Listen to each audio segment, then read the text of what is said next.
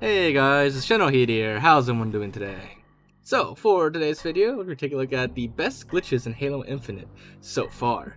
So, Halo Infinite's only in the second flight right now. Full game is not going to be out for quite a bit. But, there's already been quite a few funny and interesting glitches. So, we're going to take a look at a few of them for today's video and just see how the game's doing so far. And we're going to start with probably one of the most hilarious and more famous glitches, which is the duplicating wet floor signs glitch, and as the name would imply, you are duplicating wet floor signs like crazy. And all you have to do is just throw a dynamo grenade, you know, it's that electric looking shock grenade, I guess. You just gotta throw it near a wet floor sign, and it will just it'll just cause the wet floor signs to just, you know, exponentially duplicate like crazy. And you can make some like pretty crazy piles of wet floor signs and uh, after a little bit the piles just kind of like explode and then like the signs will fly everywhere. And this is definitely like one of the more hilarious glitches I've seen so far of Halo Infinite. And you know it, it's I kind of wish it would be kept in the game as a feature but you know it probably isn't. Now this next one the, the name is probably also kind of obvious as well but magnetic plasma grenades. Well just watch this clip. My friend and I were playing uh, multiplayer, and then all of a sudden that grenade stuck us. We blew up. And you might have noticed something odd about the plasma grenade that stuck us. If you didn't, let's watch it again in super slow motion and see the path of the plasma grenade. So there it comes, and it makes a 90 degree turn and just snaps to my warthog, and then sticks to it, and then explodes and blows us both up. You know, I, I wasn't even like mad at that. I was just like, wow, that's uh, that was unexpected. and hopefully things like that will get like patched out or fixed in upcoming uh, updates in the final game. Now this next one is a classic Halo 2 glitch. Um, technically, instead of BXR from Halo 2, it's BXB in this game. But basically, you're melee canceling, which has been around for a while in many previous Halo games, except every time you melee cancel, the melee still counts, and it's uh, it's such an OP glitch. Like it's you pretty much just like you can melee very rapid melee through pretty much enemy shields, and even over shields just get like shredded by this glitch, as you can see. Some people actually want this glitch to stay, but I, I don't know. It's pretty OP, and it's a lot harder than you know the Halo 2 BXR glitches.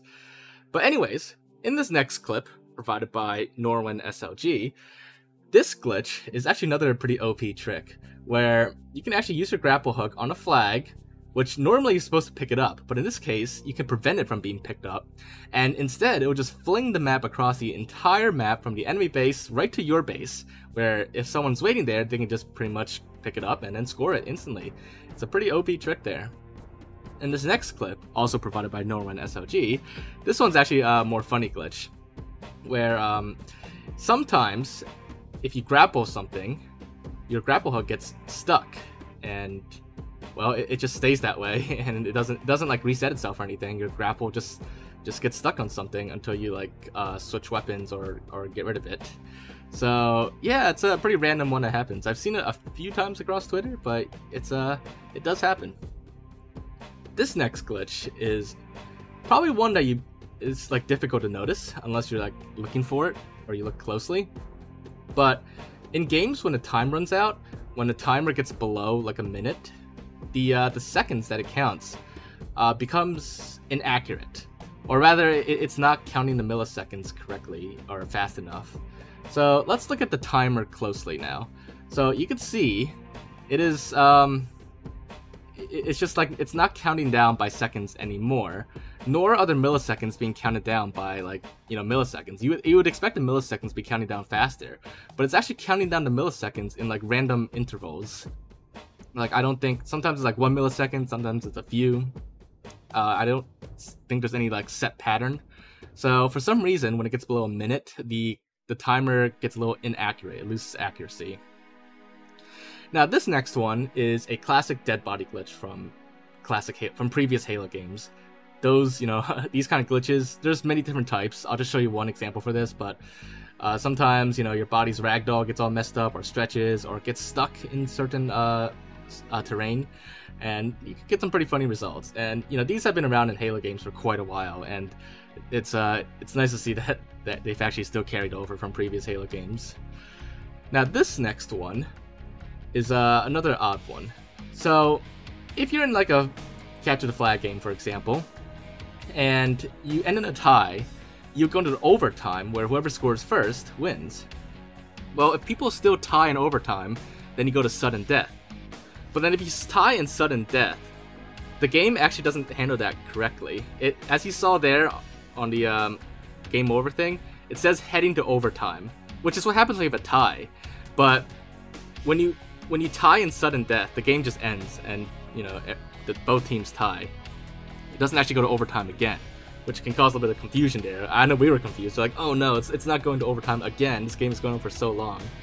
But yeah, that's that's what happened there, and it's a it's a small glitch, but it's uh it's just something with a game like not uh, correctly accounting for you know ending sudden death overtime in a tie.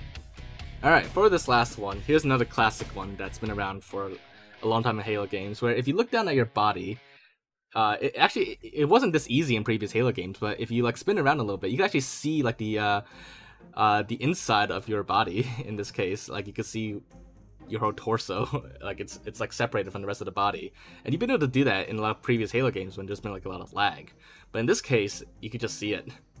So, yeah, that's uh most of the um, bigger or more noticeable glitches that I've noticed so far. If there's anything I missed, feel free to let me know in the comments down below. But aside from that, I hope you guys enjoyed this video. And if you did, as always, make sure to leave a like. And let me, like, like I said, let me know your thoughts in the comments down below. And make sure to subscribe if you haven't already. And I will see you all next time. Bye, guys.